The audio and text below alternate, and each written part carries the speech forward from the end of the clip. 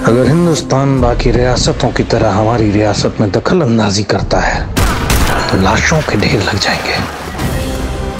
हैदराबाद आज़ाद Islamic मुल्क बन गया तो ये हिंदू और हिंदुस्तान दोनों के लिए खतरा है।